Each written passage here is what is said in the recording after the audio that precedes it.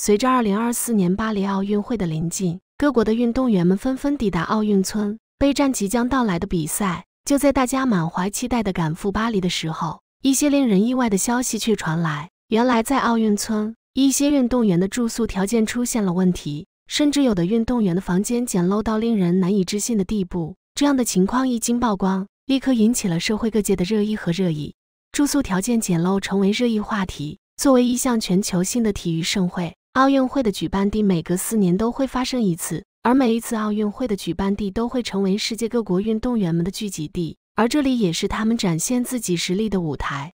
就在大家对各国代表团的运动员们给予热情的关注和祝福的时候，一些令人意外的消息却传来。原来，在巴黎的奥运村，运动员们所居住的房间出现了一些问题，他们的住宿条件十分简陋，甚至有的运动员的房间简陋到令人难以置信的地步。运动员的住宿条件简陋引发热议。据了解，代表团的运动员们所居住的房间里只有两张纸板床，而且这些纸板床之间的距离非常近。几乎是贴在一起的，这样一来就很容易造成运动员们的个人隐私受到侵犯。而就在大家对这样的住宿条件感到非常担忧的时候，甚至没有任何隐私保护措施，他的纸板床就摆放在门口，而且还是与其他人共用一个房间。这样一来，个人隐私无疑受到了很大的侵犯。当这样的情况曝光之后，立刻引起了社会各界的热议和热议，大家纷纷表示对全红婵的遭遇感到非常心疼和不公平。作为一名优秀的运动员，全红婵在平时的训练和比赛中付出了很多的努力。她也曾经为国家赢得过荣誉，她应该得到更好的保护和关怀，而不应该在国际比赛的时候遭遇这样的不公平待遇。运动员的精神和毅力备受肯定。尽管在这次的巴黎奥运会上，一些运动员的住宿条件出现了一些问题，甚至有的运动员的房间简陋到令人难以置信的地步，但是。这样的情况并没有对运动员们的精神和毅力产生任何影响，相反，他们在面对这样的挑战的时候，展现出了非常坚韧和乐观的一面。而在这次的巴黎奥运会上，代表团的运动员们也展现出了非常坚韧和乐观的一面。尽管他们的住宿条件并不是很好，甚至有的运动员的个人隐私受到了侵犯，但是他们并没有因此而感到沮丧和消极，相反，他们依然保持着良好的状态和心态。全身心投入到比赛的备战中，运动员的精神状态备受关注。在这样的重要比赛中，奥运会组委会也应该非常重视运动员的生活条件和比赛环境。他们应该为运动员们提供良好的比赛和生活条件，确保他们能够在最好的状态下参加比赛，展现出自己最好的一面。正能量的传播具有积极影响。尽管在这次的巴黎奥运会上，一些运动员的住宿条件出现了一些问题。但是他们所展现出来的坚韧和乐观的精神，以及对比赛的执着追求，却给了身边的人和支持者们非常大的鼓舞和激励。这样的正能量也在通过各种渠道传播给了更多的人，给整个社会带来了非常积极的影响。期待奥运会能够改善基础设施。在这次的巴黎奥运会上，虽然出现了一些运动员的住宿条件简陋的情况，但是相信这样的问题一经曝光。一定会引起奥运会组委会的高度重视，他们会积极采取措施，改善运动员的生活条件，为他们提供更好的备战条件。也相信通过这样的努力，巴黎奥运会一定能够取得圆满成功。也期待代表团的运动员们能够在比赛中取得优异的成绩，为国家赢得荣耀。可能因为西方国家一直倡导环保，所以条件如此简陋，但是这都不影响我们拿金牌。但是你不装空调就有点过分了。跳水运动员比赛的时候还可以理解，其他运动员呢？考虑的有点欠缺，下次注意。奥运村的纸板床是不是跳水梦之队的滑铁卢？陈若琳带着全红婵来了。窗外飘扬的五星红旗下，是简陋的房间和无处不在的挑战。这不仅是对体能的考验，更是对心态的磨砺。那么，这样的环境能孕育出新的冠军吗？当奥运精神遇上现实的硬板床。我们的跳水小花全红婵和她的金牌教练陈若琳正经历一场前所未有的考验。这不，刚从舒适的商务舱落地巴黎，迎接他们的却是奥运村里那张让人难忘的纸板床。这床简单的让人忍不住想问：这是要我们运动员体验复古风吗？还是说这是奥运村的新潮流？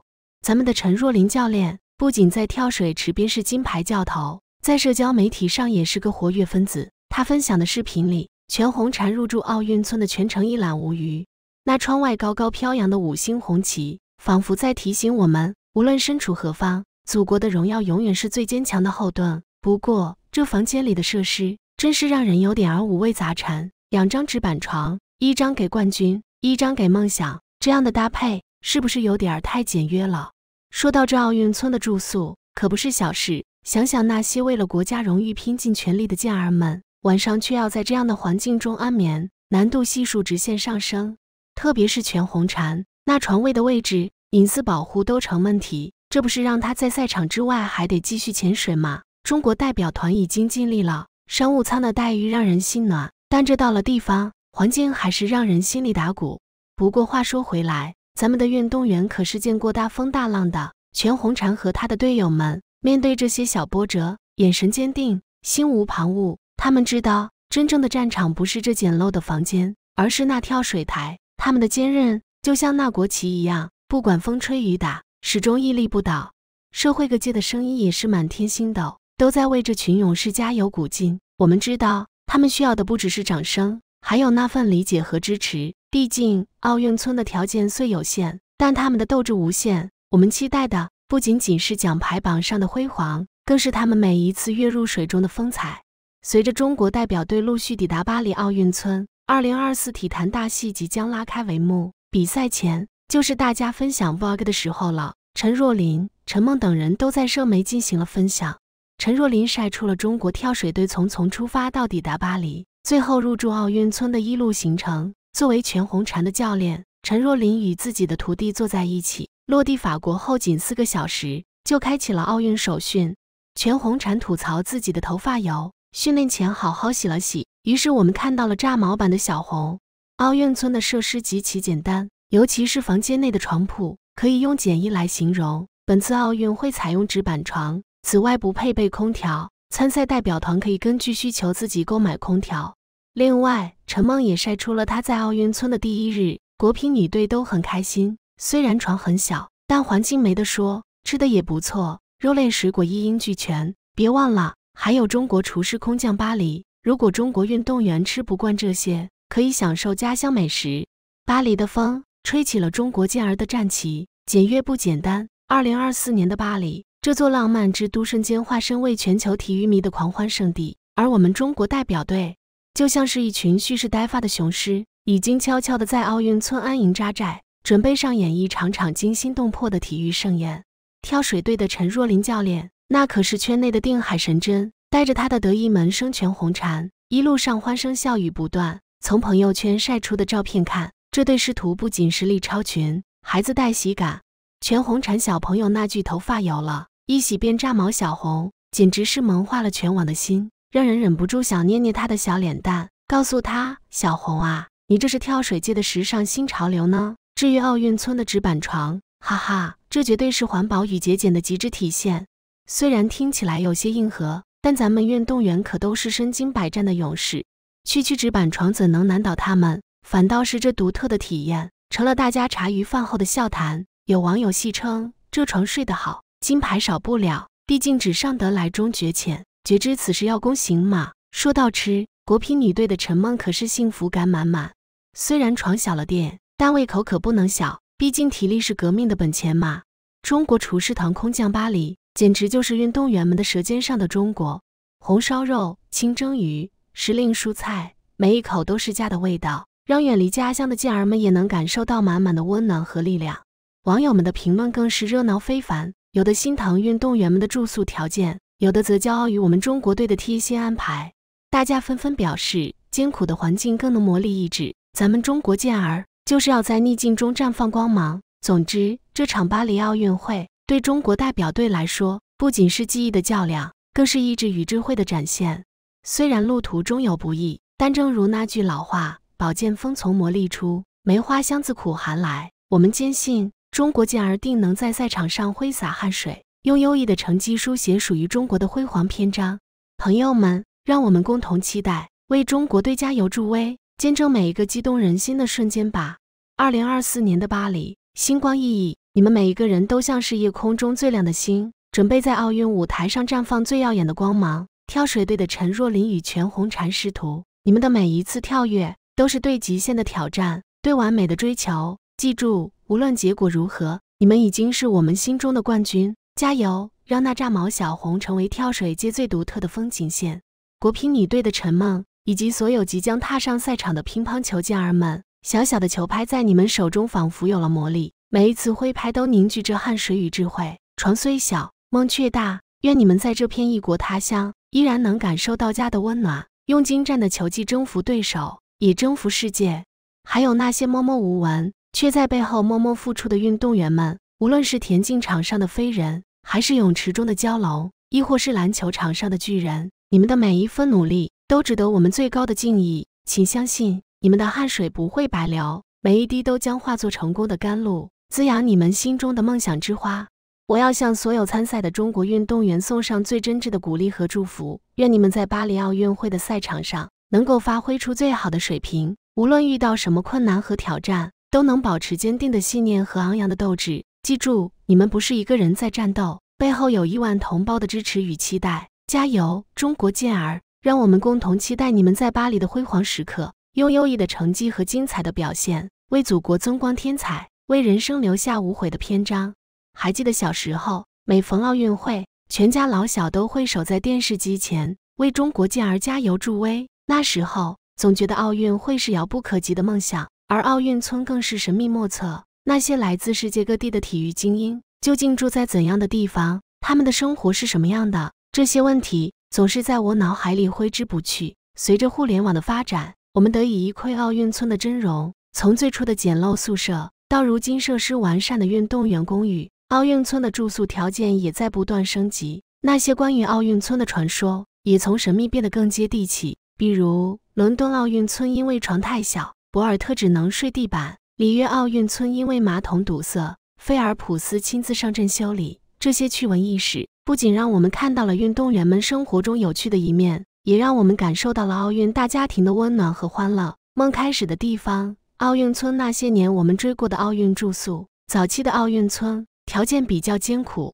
运动员们往往要住在集体宿舍里，几个人挤在一个房间，甚至连独立卫生间都没有。一九三二年洛杉矶奥运会，为了节省开支。组委会竟然在体育场旁边搭建了一个帐篷村，供运动员们住宿。你敢相信吗？那些为国争光的运动健将们竟然住在简易帐篷里。当时的运动员们并没有抱怨，反而苦中作乐，将帐篷村变成了一个欢乐的海洋。随着时代的发展，奥运村的住宿条件也在不断改善。从上世纪八十年代开始，奥运村开始出现独立卫生间、空调、电视等设施。到了二十一世纪，奥运村的住宿条件更是有了质的飞跃，宽敞明亮的房间、舒适的床铺、二十四小时热水供应、免费，这些曾经让我们羡慕不已的设施，如今已经成为了奥运村的标配。中国力量崛起，从住得下到住得好。中国作为体育强国，在奥运赛场上取得的成绩越来越好。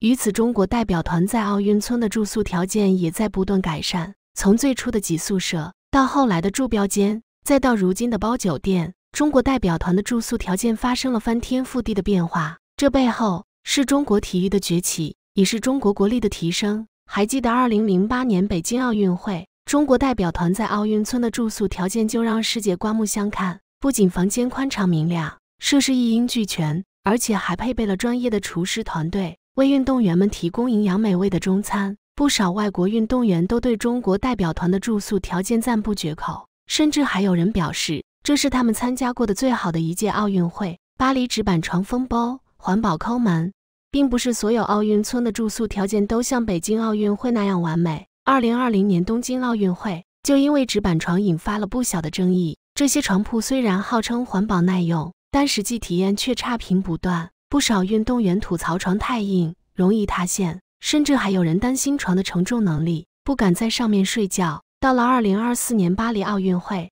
纸板床再次卷土重来，这一次巴黎奥组委给出的理由是可持续发展。他们表示，这些床铺都是由可回收材料制成，奥运会结束后可以全部回收利用，不会造成环境污染。很多网友并不买账，认为这是巴黎奥组委在抠门省钱。全红婵的九人间，中国跳水梦之队在战巴黎。这不，中国跳水队已经抵达巴黎奥运村，准备迎接比赛。从奥运五金王陈若琳在社交媒体上晒出的照片来看，中国跳水队这次入住的是一个九人间套房，房间里摆放着九张床，空间不算宽敞，但好在干净整洁。照片一经曝光，就引发了网友们的热议。有人觉得房间太拥挤，运动员们休息不好会影响比赛状态；也有人觉得房间条件已经不错了，毕竟是奥运村，不可能像星级酒店那样奢华。其实，对于运动员们来说，住宿条件并不是最重要的，重要的是能够在赛场上取得好成绩。就像全红婵在接受采访时说的那样：“只要能让我安心训练、比赛，住哪里都一样。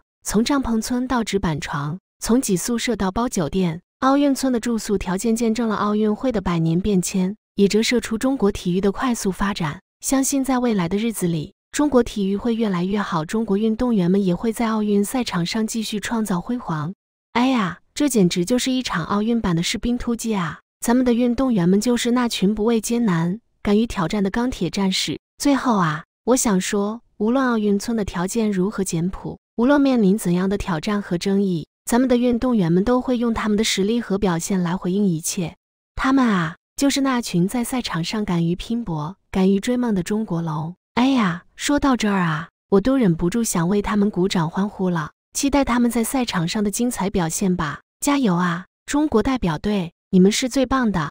好啦好啦，今天的分享就到这里啦。你们觉得咱们的中国运动员们在奥运村的表现怎么样呢？是不是也被他们的奋斗精神和乐观心态所感染了呢？快来评论区留言告诉我吧，咱们一起为中国代表队加油助威吧！